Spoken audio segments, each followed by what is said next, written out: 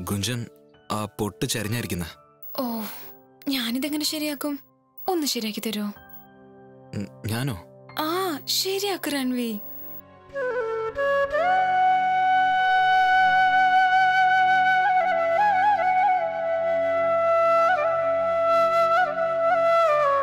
എന്റെ മനസ്സിനകത്ത് എന്തോ വേദന പോലെ.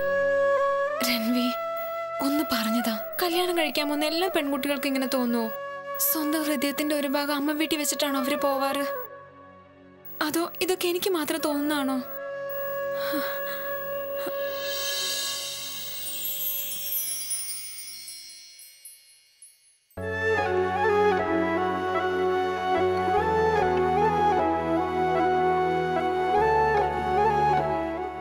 തോന്നൽ വലിയ അത്ഭുതമൊന്നുമില്ല കുഞ്ചൻ. സ്വന്തം ബന്ധങ്ങളെ വേർപിരിഞ്ഞു പോകുമ്പോൾ വേദന എല്ലാവർക്കും ഉണ്ടാവും. അത് വല്ലാത്ത വേദനയായിരിക്കും. പക്ഷെ നീ ഇതൊക്കെ ആഗ്രഹിച്ചതല്ലേ? എന്റെ ആഗ്രഹം എന്തൊക്കെയാണെന്ന് നിനക്കറിയാലോ? എനിക്ക് ഇവിടുന്ന് ഒത്തിരി ദൂരേക്ക് പോണം രൺവി. എനിക്ക് വേദന ജീവിതകാലം മതി. കൂടുതലൊന്നും ആലോചിക്കണ്ട. ഇതെല്ലാം നീ മറക്കേണ്ടത് തന്നെയാ. ഒരു പുതിയ ജീവിതമല്ല നീ തുടങ്ങാൻ പോകുന്ന? അവിടെ നിനക്ക് ഒരു വേദനയും ഉണ്ടാവില്ല. അവിടെ സന്തോഷം മാത്രമായിരിക്കും നിനക്കുണ്ടാവുക സന്തോഷം മാത്രം.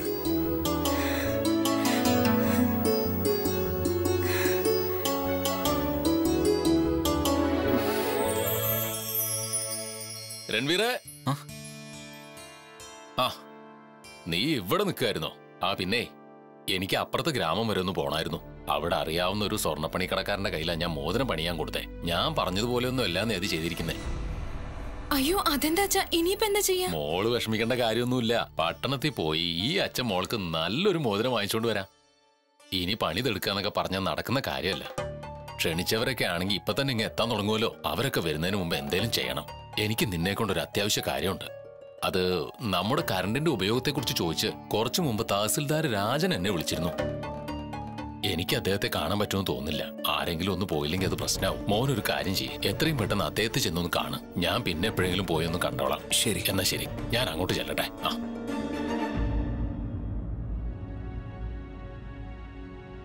അതെ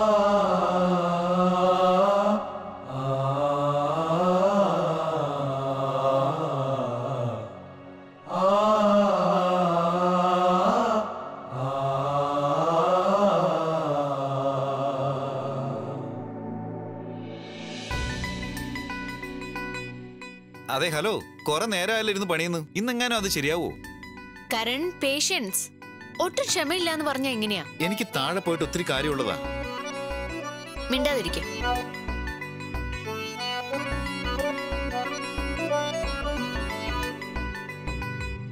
ചെയ്തു കഴിഞ്ഞോ?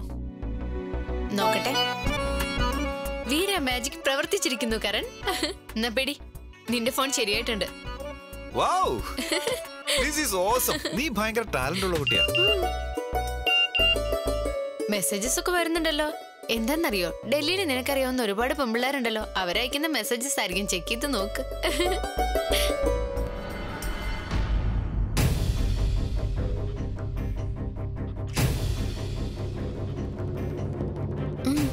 എന്തു പറ്റി? പ്രശ്നമൊന്നുമില്ലല്ലോ അല്ലേ?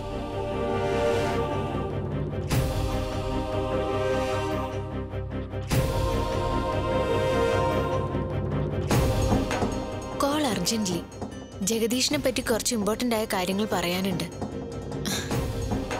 ഇതിപ്പോ എന്തായിരിക്കും? ഐ ഡോ നോ ഇത് ഡൽഹിയിലെ എന്റെ ഒരു ഫ്രണ്ടാ അവൾക്ക് ഈ ജഗദീഷിനെ എങ്ങനെ അറിയുമെന്ന് എനിക്കറിയില്ല. അർജന്റ്ലി കോൾ ചെയ്യാൻ. ഇങ്ങ തന്നെ. ഞാൻ തന്നെ ഇപ്പോൾ കോൾ ചെയ്ത് തരാം.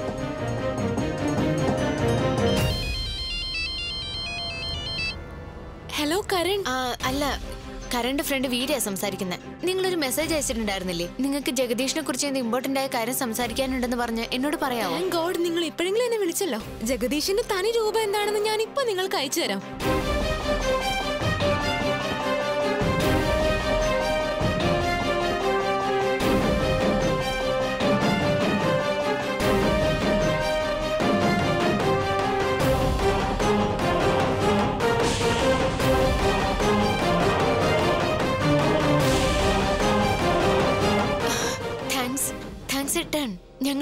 ആപത്തിൽ ചെന്ന് ചാടാതെ രക്ഷിച്ചിരിക്കുകയാണ് ഇത് പറയാന്നുള്ളത് എന്റെ ഉത്തരവാദിത്വ. Thank you oh my god ഇതെന്തൊക്കെയാ സംഭവിക്കുന്നേ? ജഗദീഷിന്റെ കല്യാണം ഇതിനു മുമ്പ് അതും വേറൊരു പെൺകുട്ടിയായിട്ട്. വാട്ട് ഇസ് ദിസ് നിന്റെ ഫ്രണ്ട് തന്നെ എന്നോട് പറഞ്ഞത്. ഇവൻ നേരത്തെ ഒരു കല്യാണം കഴിച്ചിട്ടുള്ളതാ.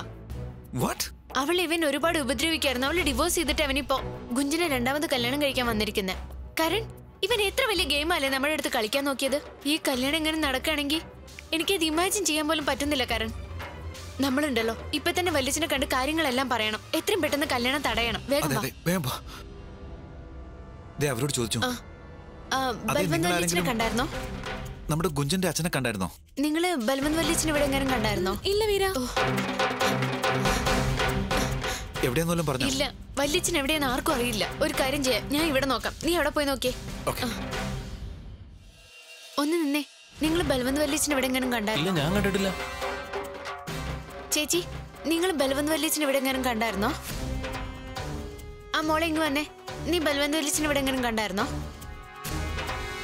ആ ചേട്ടാ നിങ്ങൾ ബൽവന്ത് വല്യച്ഛൻ ഇവിടെ എങ്ങനെ കണ്ടായിരുന്നോ? പ്രസിഡന്റ് കുറച്ചു നേരം മുമ്പല്ലേ പട്ടണത്തിലേക്കാണെന്ന് പറഞ്ഞ് ഇവിടെ നിന്ന് ഇറങ്ങിയത്? നിശ്ചയത്തിനുള്ള മോതിരം വാങ്ങാൻ ഇറങ്ങിയതാ. ആ ശരി ചേട്ടാ.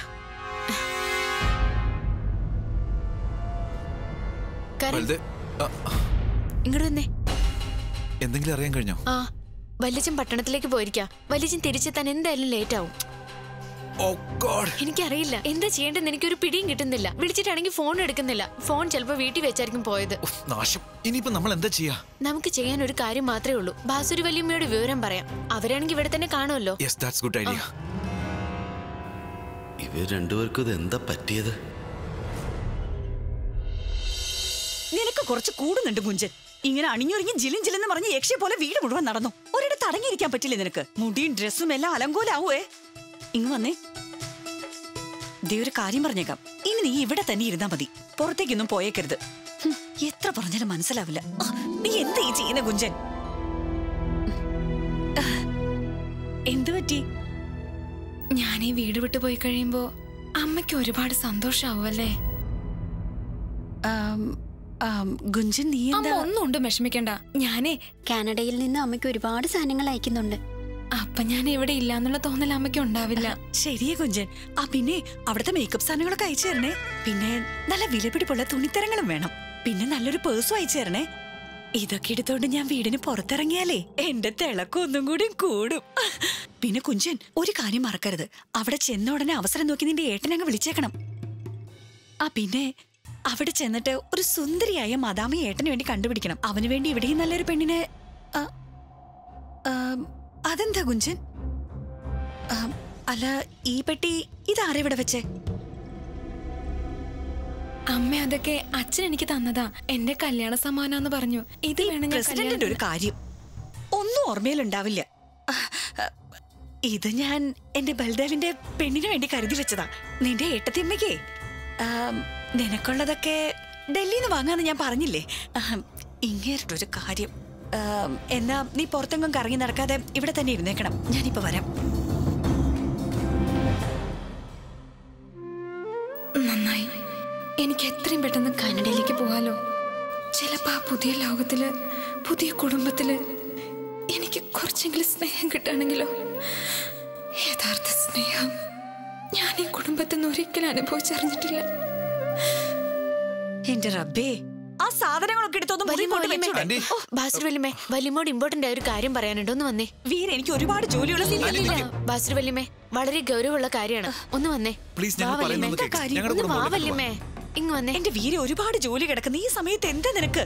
നിനക്ക് എന്താ പറയാനുള്ള? പറ. ബാസുരി വല്യമേ ഞങ്ങളോട് ഇപ്പൊ ദില്ലിയിലുള്ള കരണ്ട് ഫ്രണ്ടാ പറഞ്ഞത്.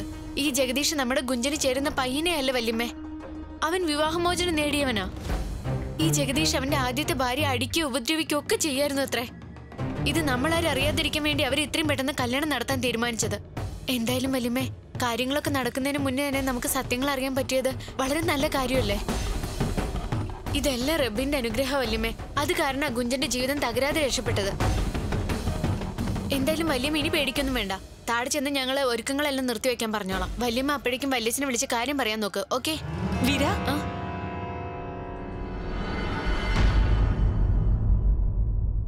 നിങ്ങൾ ഇപ്പൊ എങ്ങോട്ടും പോവരുത്. ഒരുക്കങ്ങളൊന്നും നടത്താൻ പാടില്ല. ഈ ബന്ധം വേണ്ടെന്ന് വെക്കാൻ ഞാൻ ഒരുക്കമല്ല എന്ത്? വല്യമ്മേ? വല്യമ്മ എന്തൊക്കെയാ പറയുന്നേ? ഇത്രയും മനസാക്ഷി ഇല്ലാത്തൊരുത്തന്റെ കൂടെയാണോ ഗുഞ്ചിനെ കല്യാണം കഴിച്ചു വിടുന്നത്? വിവാഹമോചനം നടത്തിട്ട് നിൽക്കുന്നവന്? എന്നിട്ട് അവന് അതിനെന്താ വീര?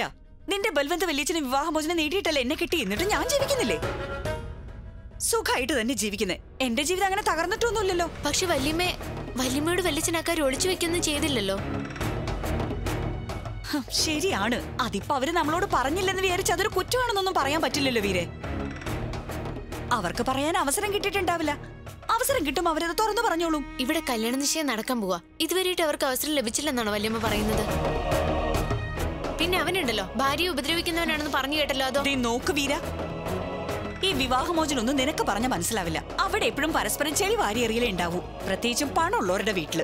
ഗുരുപ്രസാദ് സാറ് നല്ല പണക്കാരനാണല്ലോ. അതുകൊണ്ട് അവരുടെ ഭൂമിയോ സമ്പത്തോ വല്ലെന്ന് തട്ടിയെടുക്കാനുള്ള ശ്രമമായിരിക്കും ഇത്. പക്ഷെ വല്യമ്മ കാര്യങ്ങൾ വീര. നീ നിന്റെ കാര്യം നോക്കി പോയിക്കോണം. പറഞ്ഞേക്കാം. ഇത് എന്റെ കുടുംബത്തിലെ കാര്യമാണ്. നീ ഇതിനിടയ്ക്ക് കയറി വരാതിരിക്കുന്നത് നല്ലത്. പിന്നെ ഒരു കാര്യം കൂടി പറഞ്ഞേക്കാം. എന്റെ കുടുംബത്തിനും എന്റെ മക്കൾക്കും വേണ്ടത് എന്താണെന്ന് എന്നെ പഠിപ്പിക്കാനേ നീ ആളായിട്ടില്ല.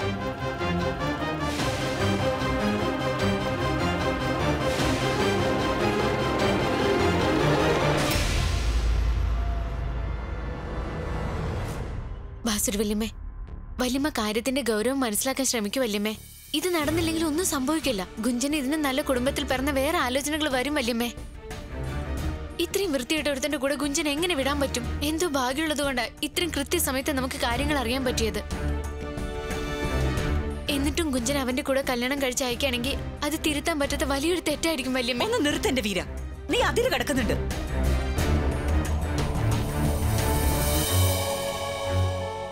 പട്ടണത്തിൽ പോയി പഠിച്ചു വന്നു എന്ന് കരുതി ലോകത്തിലുള്ള എല്ലാവരുടെയും ബുദ്ധി നിന്റെ തലക്കകത്തൊന്നുമല്ലല്ലോ ബാക്കിയുള്ളവരെന്താ മണ്ടന്മാരോ? ദേ ഗുഞ്ചന്റെ കല്യാണത്തിന് എന്തെങ്കിലും തടസ്സം ഉണ്ടാക്കാൻ ശ്രമിച്ച നിന്നെ ഞാൻ വെറുതെ വിടില്ല. മനസ്സിലായോ? പിന്നെ ദേ നിങ്ങൾ രണ്ടുപേരും ഇത് ഇവിടെ വെച്ചങ്ങ് മറന്നേക്കണം. അല്ലെങ്കിൽ നിങ്ങൾ എന്റെ തനി സ്വഭാവം അറിയും. താഴെ ചെന്ന് ഇതിനെപ്പറ്റി ആരോടൊന്നും പറയാൻ പാടില്ല. മനസ്സിലായോ? ദേവീരെ നിശ്ചയത്തിൽ പങ്കെടുക്കണമെന്നുണ്ടെങ്കിൽ മര്യാദയ്ക്ക് ഇവിടെ നിൽക്ക്. അല്ലെങ്കിൽ ഇപ്പൊ തന്നെ സ്ഥലം വിട്ടണം.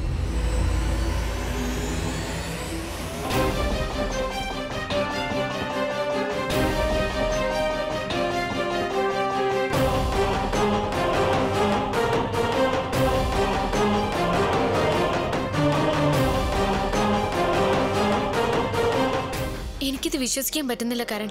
ബാസുരവല്യം എന്താ ഇങ്ങനെയൊക്കെ പെരുമാറുന്നത്? നമ്മൾ എന്തെങ്കിലും ചെയ്തേ പറ്റൂ കരൺ. ഇത് പാവം ഗുഞ്ചന്റെ ജീവിത പ്രശ്നമാണ്. ചെക്കനെ കാണാൻ എന്ത് ഭംഗിയാന്നറിയോ പിന്നെ ഗുഞ്ചനെ കാണാൻ അത്ര മോശമൊന്നുമല്ല. ഏതായാലും അവളുടെ ഭാഗ്യ. നല്ല പഠിപ്പുള്ള ചെക്കനാ. അതും എന്നാറേ നോക്ക് വീര ഇവിടെ ഇപ്പൊ എല്ലാരും വളരെ എക്സൈറ്റഡാ നമ്മളിപ്പോ ഈ കാര്യം ഇവിടെ ആരോടെങ്കിലും പറഞ്ഞാ വെറുതെ ഒരു സീൻ ഉണ്ടാക്കാന്നല്ലാണ്ട് ഒരു പ്രയോജനമില്ല നമുക്കിത് വളരെ ബുദ്ധിപൂർവം കൈകാര്യം ചെയ്തേ പറ്റൂ. ബുദ്ധിപരമായിട്ട് ഡീൽ ചെയ്യാനൊന്നും ഇവിടെ സമയമില്ല. ഐ ഡോണ്ട് കെയർ ഇത് എത്ര വലിയ പ്രശ്നമാണ് കരൺ? എനിക്ക് ഗുഞ്ചന്റെ ജീവിതം തകരാതെ രക്ഷപ്പെടുത്തണമെന്ന് മാത്രമേ ഉള്ളൂ. അത്യാവശ്യം വരികയാണെങ്കിലേ ഞാൻ ആ ജഗദീഷിന്റെ തലയിൽ പെട്രോൾ ഒഴിച്ച് കത്തിക്കും. അവനും ഞാനുണ്ടല്ലോ. റിലാക്സ് വെറുതെ ഇങ്ങനെ മണ്ടത്തരം പറയല്ലേ? നീ ഒന്ന് ശരിക്കും ആലോചിച്ച് നോക്ക്. എന്താ ചെയ്യേണ്ടെന്ന് എനിക്ക് മനസ്സിലാവുന്നില്ല കരൺ. ഈ സമയം നോക്കി രൺവീരേട്ടനും രൺവീരേട്ടൻ? രൺവീരേട്ടന് തീർച്ചയായിട്ടും നമ്മളെ ഹെൽപ്പ് ചെയ്യാൻ പറ്റും. നീ ഫോണിങ് തന്നെ. ഞാൻ രൺവീരേട്ടൻ ഒന്ന് വിളിക്കട്ടെ. വേഗം വിളിക്ക. എന്തായി? എന്ത് ചെയ്യും കരൺ? രൺവീരേട്ടന്റെ ഫോൺ എന്താണെന്നറിയില്ല? സ്വിച്ച് ഓഫാ. ബൽദേവ്. നമുക്കിത് ബൽദേവിനോട് പറയാം. അല്ലെങ്കിൽ വേണ്ട. അവന് നിന്റെ വാക്ക് വിശ്വസിക്കുന്നു തോന്നില്ല ഇല്ല കരൺ. ബൽദേവ് ഒന്നാം നമ്പർ തെമ്മാടിയാണെന്നുള്ളത് ശരിയാ. പക്ഷെ അവന്റെ മനസ്സിൽ തെറ്റുകളൊന്നുമില്ല. സ്വഭാവം അത്ര ശരിയില്ലെങ്കിലും അവന്റെ സഹോദരിയുടെ ജീവിതം നശിക്കുന്നത് അവന് കാണാൻ പറ്റില്ല. അവനോട് തന്നെ കാര്യങ്ങൾ സംസാരിക്കാം. വാ കരൺ. വാ പോവാം.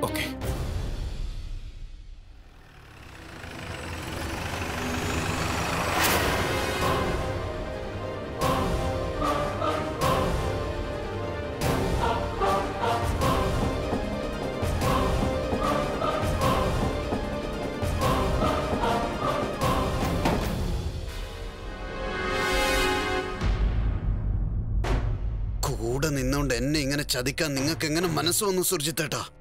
അതിനിപ്പോ എന്താണ്? എന്ത് കാര്യമുണ്ടായിട്ട് നീ ഇപ്പൊ ഇങ്ങനെ ചൂടാകുന്നേ? ആരാരെ ചതിച്ചു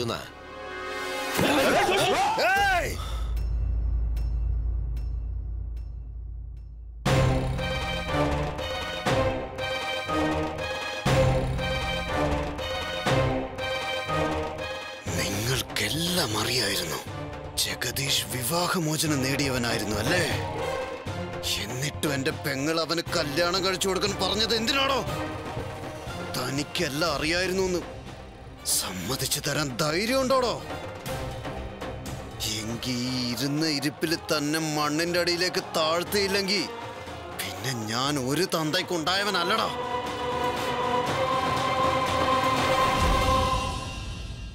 ഇനി ഞാൻ നിന്നോട് കാര്യങ്ങളൊന്ന് പറഞ്ഞോട്ടെ മോനെ. വിട്ടേ. വിട്ടേ മോനെ. കൈയെടുക്കണോ അവന്റെ വിവാഹമോചനം കഴിഞ്ഞതാണെന്ന് തനിക്ക് എന്നോടൊരു വാക്ക് പറയായിരുന്നില്ലേ? ആദ്യ ഭാര്യയോട് വളരെ ക്രൂരമായ രീതിയിൽ പെരുമാറിയവനവൻ. എന്റെ പെങ്ങളുടെ ജീവൻ തകർക്കാനല്ലോ താൻ നോക്കിയത്. എന്ത് കഷ്ട ഇത് ബൽദേവേ. നീ എന്നെയാണോ സംശയിക്കുന്നത് ഞാനിത് പ്രതീക്ഷിച്ചില്ല. റബ്ബിനെ സ്നേഹിക്കുകയും റബ്ബിനെ പേടിക്കുകയും ചെയ്യുന്നവനാണ് ഞാൻ. വഴിയെ പോകുന്ന ഒരു അപരിചിതനെ പോലും വേദനിപ്പിക്കാൻ ഈ സുർജിത് സിംഗിന് കഴിയില്ല.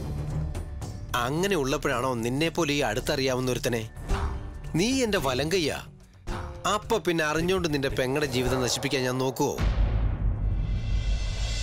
ഇനി ഞാൻ പറയുന്നത് നിനക്ക് വിശ്വസിക്കാൻ പറ്റുന്നില്ലെങ്കിൽ നേരിട്ട് ഗുരുപ്രസാദിനെയും ജഗദീഷിനെയും വിളിച്ച് ചോദിക്കേ. ഞാൻ തന്നെ ഫോൺ റിങ് ചെയ്തു തരാം. സത്യം പറഞ്ഞാൽ പോലും ഇക്കാലത്തെ പിള്ളേർ വിശ്വസിക്കുന്നില്ലല്ലോ.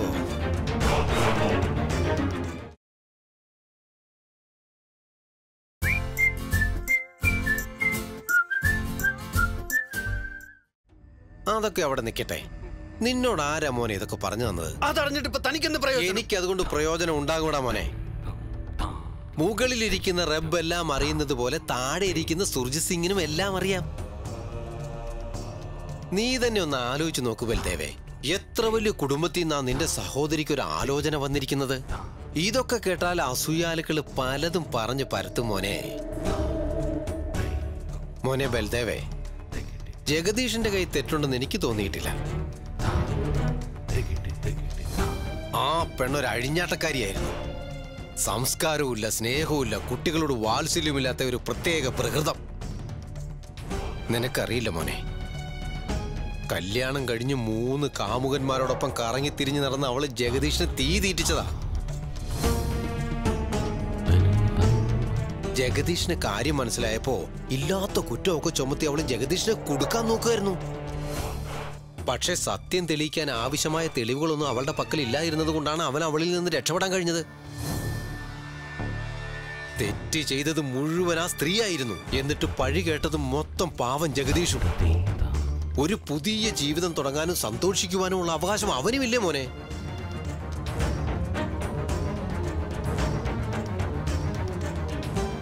നിങ്ങൾ നിങ്ങൾ പറയുന്നൊക്കെ സത്യമാണോ സുർജിത്തേട്ടാ? എന്നാലും നീ എന്നെ സംശയിച്ചു കളഞ്ഞല്ലോ മോനെ. ഞാൻ എന്നും നിന്നെ സഹായിക്കാൻ മാത്രമേ ശ്രമിച്ചിട്ടുള്ളൂ. നൂറ് ശതമാനം സത്യം മാത്രമാണ് ഞാൻ പറയുന്നത് നിനക്ക് ഞാൻ പറയുന്നത് വിശ്വാസമാകുന്നില്ലെങ്കിൽ നീ നേരിട്ട് തന്നെ ജഗദീഷിനെയോ ഗുരുപ്രസാദിനെയോ വിളിക്ക്.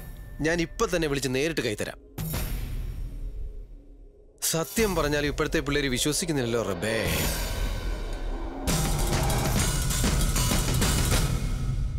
ബൽദേവ്?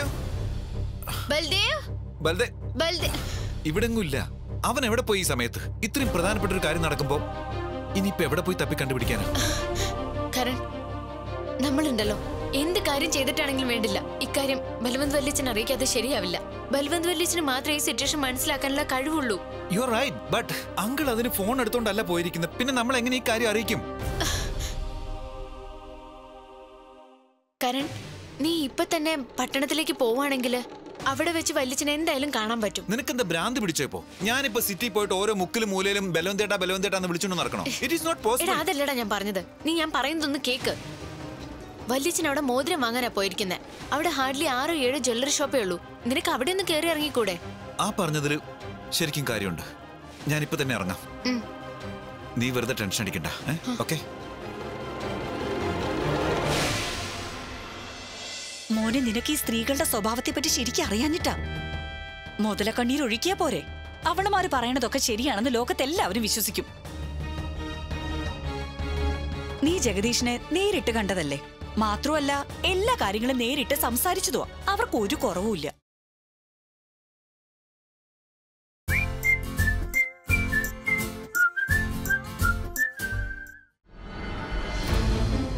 എനിക്കൊന്നും മനസ്സിലാവുന്നില്ലല്ലോ അമ്മേ. എന്താ ചെയ്യേണ്ടത്? എനിക്കൊന്നും മനസ്സിലാവുന്നില്ല. എന്റെ പൊന്നു ബൽദേവേ നീ ജഗദീഷിനോട് അവന്റെ അച്ഛനോട് സംസാരിച്ചതല്ലേ? എന്നിട്ടും ഇങ്ങനെ ഈ നല്ല ബന്ധത്തിനെ ചോദ്യം ചെയ്യാൻ ശ്രമിക്കുന്നത് എന്തിനാ? ഞാൻ പറയുന്നത് കേക്ക്. അവർ കൂടെ ഉണ്ടെങ്കിൽ നിനക്കൊരു നല്ല ജീവിതം ഉണ്ടാവും. നിന്റെ വലിയ വലിയ സ്വപ്നങ്ങളൊക്കെ നിറവേറ്റണ്ടേ?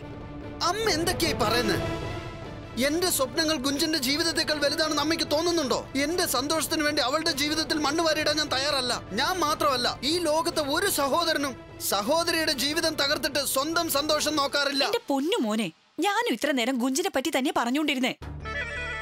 നീ ഒന്നും മനസ്സിലാക്ക് അവരൊക്കെ വളരെ നല്ല ആൾക്കാരാ. ഇടയ്ക്ക് അവർക്ക് ഒരു കഷ്ടകാല സമയമുണ്ടായി. മോനെ ഇവിടെ നടന്ന കാര്യങ്ങളൊക്കെ വെച്ച് നോക്കുമ്പോ എന്തോ അവരുടെ ഭാഗത്ത് തെറ്റുണ്ടെന്ന് എനിക്ക് തോന്നുന്നില്ല. ഇതൊക്കെ ആൾക്കാരെന്തോ കഥകൾ കിട്ടി ചമയ്ക്കുന്നതാ വിവാഹമോചനാണെങ്കിൽ നിന്റെ അച്ഛനും അങ്ങനെ ഒരു ഭൂതകാലം ഉണ്ടായിരുന്നു. എന്നിട്ട് അച്ഛൻ ചീത്തയാണോ? അല്ലല്ലോ. പിന്നെ അവൻ ആ പെണ്ണിനെ ദേഹോപദ്രവം ഏൽപ്പിച്ചത്. മോനെ നിനക്ക് ഈ സ്ത്രീകളുടെ സ്വഭാവത്തെ പറ്റി ശരിക്കും അറിയാഞ്ഞിട്ടാ? മുതലക്കണ്ണീർ ഒഴുക്കിയാ പോരെ. അവളുമാർ പറയണതൊക്കെ ശരിയാണെന്ന് ലോകത്തെല്ലാവരും വിശ്വസിക്കും. നീ ജഗദീഷിനെ നേരിട്ട് കണ്ടതല്ലേ? മാത്രമല്ല എല്ലാ കാര്യങ്ങളും നേരിട്ട് സംസാരിച്ചതുവാ. അവർക്ക് ഒരു കുറവുമില്ല. ബൽദേവേ നീ ഗുഞ്ചിനെ പറ്റി മാത്രം ചിന്തിച്ചാ മതി. ഈ ബന്ധം ഉറപ്പിച്ചേ പിന്നെ അവളെ എത്രമാത്രം സന്തോഷത്തിലാന്നറിയോ അവളുടെ മുഖത്തിപ്പോ ഒരു പ്രകാശമുണ്ട്. പിന്നെ വിദേശത്ത് പോണോന്നുള്ളത് അവളുടെ ചെറുപ്പം മുതലേ ഉള്ള ഒരു സ്വപ്ന. മോനെ നീ തന്നെ ഒന്ന് ആലോചിച്ചു നോക്ക്. ഇവിടെ നിന്റെ അനീതിയുടെ സ്വപ്നം തകരാൻ നീ ഒരിക്കലും ഒരു കാരണമാകരുത് മോനെ. ഈ ബന്ധം എങ്ങാനും തകർന്നാൽ എന്റെ കുഞ്ഞിനാകെ തകർന്നു പോവും. ഇനി നീ തന്നെ ആലോചിച്ച് എന്താന്ന് വെച്ചാ ചെയ്യ.